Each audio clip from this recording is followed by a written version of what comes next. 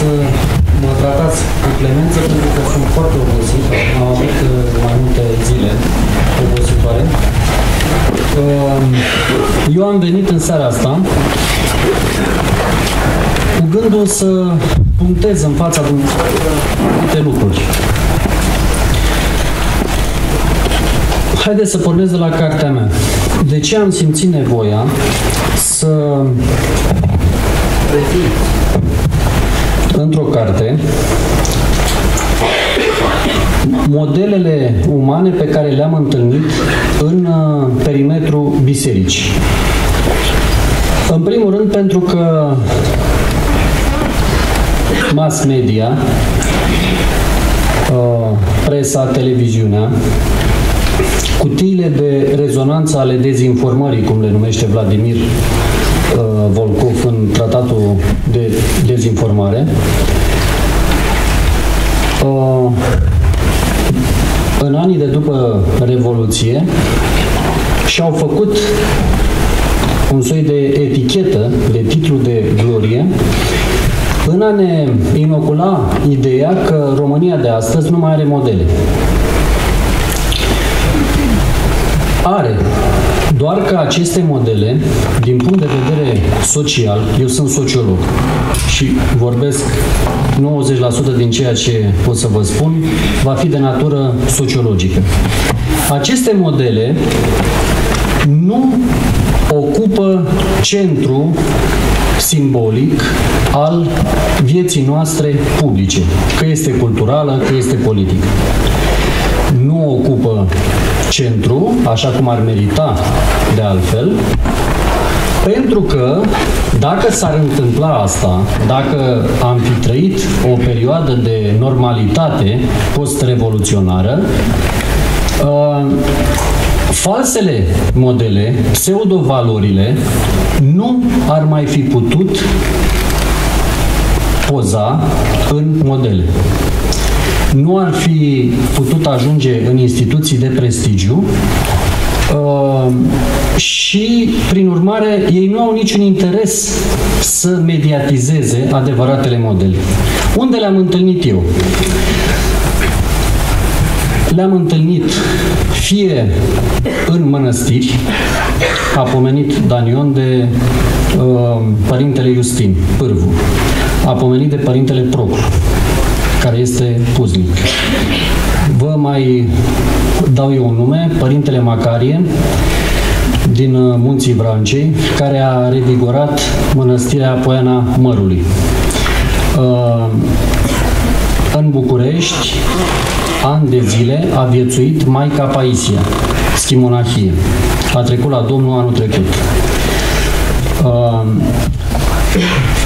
Uh, am regăsit modelele României normale, ale României interbelice, în rândul foștilor deținuți politic. Dumnezeu mi-a scos în cale câțiva, pentru scurtă vreme. E vorba de pildă de domnul Marcel Petrișor, colegul de celulă al părintelui Gheorghe Calciu Dumitreasa și al lui Constantin Oprișan. Uh, dânsul având vocația scrisului, fiind și absolvent de filozofie, a fost arestat în două rânduri, ultima oară în 56 și a petrecut, alături de părintele mărturisitor Gheorghe Calciu Dumitreasa, de filozoful necunoscut, din păcate, în România, Constantin Oprișan, și de un alt coleg de celulă, Iosif V. Iosif, câțiva ani în Casim Cajilave. Casim Cajilave era un soi de închisoare în închisoare Uh, existau patru celule, în fiecare celulă patru deținuți. În fiecare celulă a fost introdus așa în mod experimental câte un om bolnav de tuberculoză ca să îi îmbolnăvească și pe ceilalți. Bun. Domnul Marcel Petrișor a scris câteva romane Uh, care sunt uh, ceva, să spunem așa, la limită între memorialistică și romanul roman, romanul clasic, și vă sfătuiesc să le citiți, pentru că de acolo se va, sur, uh, uh, se va desprinde un portret inedit al Părintelui Calciu. Domnul Marcel Petrișor po- povestește în uh, Secretul Fortului 13 cum tânărul student la medicină Gheorghe Calciu, disperat fiind că uh, prietenul, camaradul, modelul lor uh, de creștin și de om, Constantin Oprișan, se îndrepta cu pași repezi spre moarte. Era în ultima fază, a bolii de tuberculoză, ajunsese să-și scuipe la propriu plămânii și tânărul medicinist Gheorghe Calciu face un gest sublim pe care nu l-am regăsit nici în uh, Arhipelagul Gulag, cele trei volume scrise de Alexandru Solzhenitsyn, uh, nici în Pavilionul Canceroșilor, nici la alți scriitori uh, ruși, foști dezidenți, dizidenți, gen Vasili Grossman, sau Varlam Shalamov, cel cu povestirile din Siberia. A luat o gamelă, tânărul Gheorghe Calciu, și-a tăiat venele și-a stors propriul sânge în acea gamelă, a separat hematiile și a încercat să-i dea să bea forțat hematiile mucenicului uh, Constantin Oprișan, a încercat să îi dea propriul sânge să bea. De ce? Doar ca să-i prelungească, fie și puțin timp, viața. Cea mai frumoasă mărturie despre filozoful Constantin Oprișan, o minte extraordinară, care îi impresionase pe Martin Heidegger la Freiburg, pe Lucian Blaga sau pe Dede Roșa, Roșca la Cluj. Ehm, Constantin Oprișan, cum spune Părintele Calciu, deși era redus la orizontală, era stâlpul de care ei, ceilalți trei camarazi, se țineau. De ce? Pentru că, spune Părintele Calciu, ă, se ruga aproape tot timpul, ajunsese la măsura la care reușise să-și ierte torționarii, îi îndemna și pe ei să-și ierte torționarii și, mă rog, în momentul în care Domnul nostru Isus Hristos l-a chemat la el, a fost un moment de grea cumpănă pentru cei trei. Ceea ce mi se pare extraordinar este că filozoful ucenic Constantin Oprișan le promite că dacă va ajunge în fața Mântuitorului, îi va cere să-i ajute pe cei trei rămași în Casinca Jilavei să supraviețuiască. Ceea ce s-a și întâmplat. Uh, la începutul cuvântului meu, v-am spus că eu am găsit aceste modele cumva la periferia societății.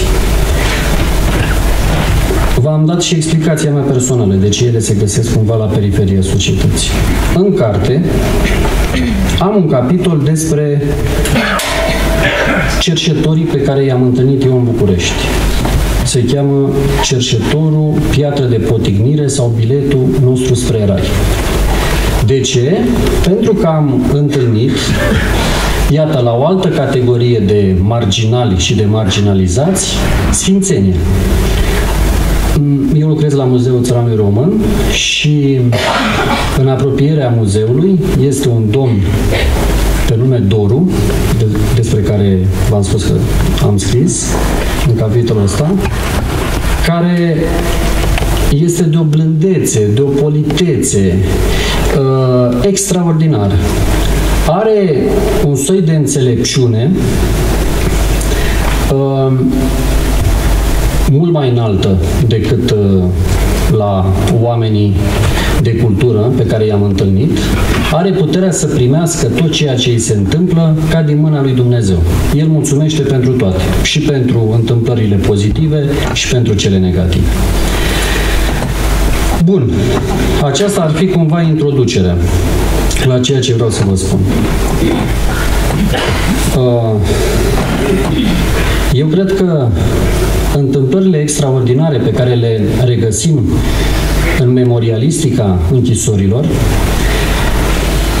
s-au petrecut, în primul rând, pentru că Dumnezeu i-a ales din rândul poporului român pe ei uh, și că i-a întărit în uh, actul lor mărturisitor, dar mai cred că ei au fost cu adevărat aleși și pentru că ani de zile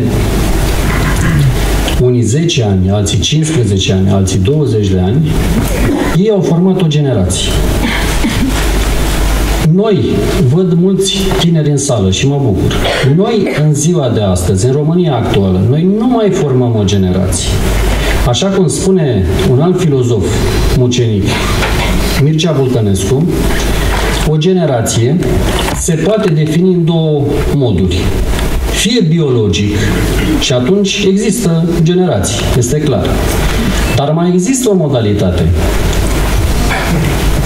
Definirea sau definiția spirituală. Formează o generație, oamenii care se formează pe sine și toți împreună, așa de obște, în jurul unor valori comune. Valorile Sfinților Închisorilor au fost 1. Iubirea pentru Dumnezeu 2. Dragostea de neamul românesc. Dacă vă uitați cu atenție, ambele valori sunt în ultimii ani uh, voit compromise printr-o metodă care se cheamă deconstructivism. Metodă care este folosită de istorici care tratează istoria României, mai ales istoria recentă a României. Uh, nu a ajuns să ni se facă rușine să spunem despre noi că suntem români. Lor, Sfinților Închisorilor, nu numai că nu le-a fost rușine, dar în toate operele pe care le-au, ni le-au lăsat moștenire, exact asta au spus. Și există un filon foarte clar, care începe cu Eminescu, se continuă prin Vasile Pârvan, trece prin Nicolae Iorga, trece prin uh, Lucian Blaga, prin profesorul de metafizică și logică, Nai Ionescu, după care se transmite la ucenicii lui, care erau Constantin Noica, ultimul mare filozof român care ne-a lăsat o carte fundamentală, nu numai de filozofie românească, dar o carte despre înțelepciunea limbii române, anume rostirea filozofică românească sau sentimentul românesc al ființei, asta ar fi, ar fi a doua, deci se transmite de la Naionescu uh, la Noica, se transmite la Emil Cioran, vă recomand să recitiți Schimbarea la fața României, se transmite uh, de pildă la uh, Dan Bota, un autor care nu mai este citit astăzi. Se transmite prin părintele Daniel Sandu Tudor în rândul uh, celor care au frecventat rugul aprins. Pentru că ei se întâlneau, uh, erau uh, călăuziți în practica rugăciunii lui Isus de către uh, părintele Ioan Culughin sau Ioan cel Străin, dar aveau și întâlniri culturale în care scoteau la lumină fie cărțile de cult care de fapt au creat limba română, că e vorba de Cazania sau de altele, așa, cert este că uh, ei se întâlneau ca să dezbată pe marginea spiritualității românești. Bun. De ce am ajuns noi în situația critică de astăzi? Pentru că a venit valul bolșevist și bolșevic, care, fiind internaționalist, au decimat, în primul rând, o mișcare spirituală ale cărei uh, baze s-au pus în luna martie, în 1919, în pădurea de la Dobrina, o mișcare din rândul căreia au provenit foarte mulți dintre mărturisitorii de aici. Vă recomand o carte extraordinară, Vifornița uh, cea mare, scrisă de părintele Dimitrie Bejan. Încă de pe la pagina 15 o să descoperiți ceva foarte interesant. Unul dintre anchetatori făcea presiune asupra lui ca să-l convingă de două lucruri. Îi spunea așa, nu există Dumnezeu și nu există neamuri. Deci pentru comuniști, și nu numai pentru comuniști, pentru toți reprezentanții ideologiilor internaționaliste, inclusiv ideologii internaționaliste de astăzi, gen globalizare, ecumenism, corporatism, așa, naționalismul este uh, un concept dinamit. Nu fac o paranteză. Nu se descoperă o parte din uh, uh, moaștele Sfinților Închisorilor și din motivul că reprezentanții noi ordini mondiale nu vor să se creeze centre de pelerinaj, nu vor să se creeze locuri ale memoriei anticomuniste. În carte am un capitol despre dispariția voluntară, evident, a locurilor memoriei anticomunismului. Și mă refer în speță la comanda dată de domnul sau tovarășul Ilici, Uh, prin care au fost șterse de, din zona pieții universității, unde mai există, din fericire, o bornă pe care scrie kilometru zero, așa, au fost șterse toate grafiturile care au fusese scrise la Revoluție. Dar nu numai de acolo, de pe întreg bulevardul Magheru, care unește piața romană de uh, piața universității. Bun. De ce este extraordinar Părintele Iustin Pârvu? Printre altele. Iarăși o observație sociologică. Uh, pentru că Părintele Iustin Pârvu a declanșat cultul Sfinților Închisori. A creat la Aiud un loc care este în același timp un loc al memoriei mărturisitorilor din secolul 20, dar este și un loc al eroilor anticomuniști. Părintele Justin, având uh, atâta har de la Dumnezeu, cunoștea lucrul ăsta că un popor nu poate să-și păstreze memoria dacă memoria nu este cuplată cu anumite locuri ale memoriei. Nu întâmplător, mulți dintre mărturisitori se întâlneau în mod ritualic la mormintele uh, eroilor neamului românesc. Da? La Avram Iancu, de pildă, sau nu mai spun de mormântul Ștefan cel Mare. Ba chiar purtau săculeți cu țărână luată chiar de pe mormintele lor. Bun. Să știți că ideea asta, că nu este în, în regulă să te legitimezi în raport cu strămoșii tăi, cu apartenența la un neam, la neamul românesc în cazul nostru, este recentă. A apărut prin anii 1980 și este produsul a doi intelectuali. Uh, istoricul Eric Hobsbawm și antropologul cultural Ernst Gellner. Ambii au devenit scriitori canonici în toate facultățile socio-umaniste. Tinerii din ziua de astăzi învață încă din, primul, din primii ani de facultate că este suspect să spui despre tine că ești român. Este suspect și în orice caz este neproductiv, ba este chiar antiproductiv, să te legitimezi de la spiritualitatea românească. Mircea Eliade are un articol extraordinar, scris prin 1928, în care definește ce este de fapt naționalism. A fi naționalist înseamnă a-ți iubi neamul, dar mai înseamnă ceva. A fi naționalist este un act de creație spirituală.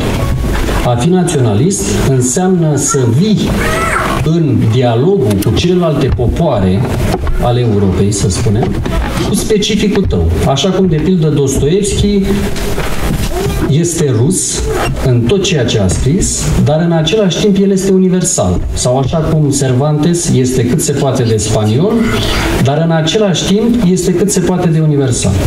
În ziua de astăzi, toți ideologii noi ordini mondiale, că sunt uh, politologi, analiști de un fel sau de altul, ne inoculează două idei.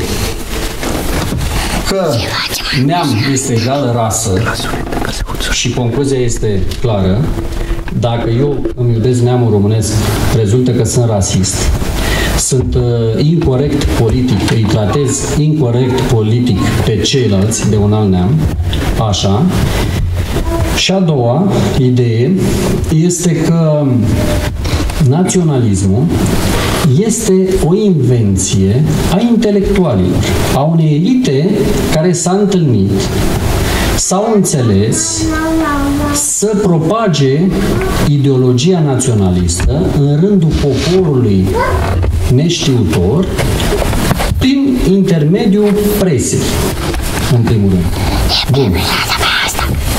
Dacă la uh, faptul că Nicolae Ceaușescu s-a vrut un comunist mai uh, special așa, adică avea și oareșcari uh, accente naționaliste uh, și prin urmare uh, a compromis, de fapt, naționalismul și ideea de naționalism prin festivale gen Cântarea României, prin acele picturi, dacă vi le mai amintiți, uh,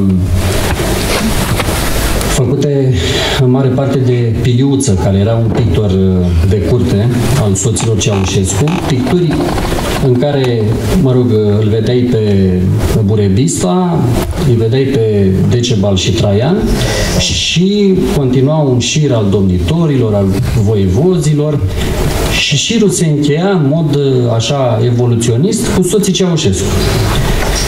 Bun, a venit Revoluția și iată că de ani de zile intelectualii care, în sensul lui Julien Benda, au trădat. Au trădat pentru că în loc să urmeze acest filon al tradiției, tradiție vine de la cuvântul tradițio, din latină, care înseamnă a da mai departe, deci în loc să-și asume acest rol de a da mai departe, s-au făcut, uh, uh, cum să spun, agenții diverselor ideologii, că este liberalism, sau că este ecumenism, sau că este globalism. Asta a fost alegerea lor.